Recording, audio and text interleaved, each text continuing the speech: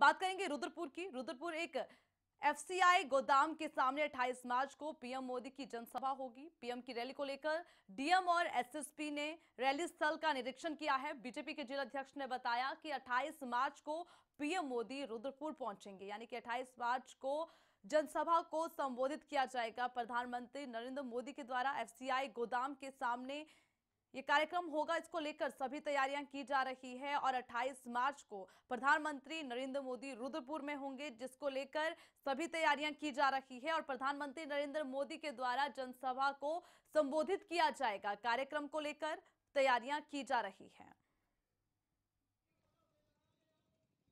चुनाव दो दो चीज़ों पर है। जहाँ ऊपर एक तरफ़ नरेंद्र मोदी वर्सेज कौन ये जो तय नहीं है, राहुल गांधी, ममता बनर्जी और जो है मायावती, कौन होगा?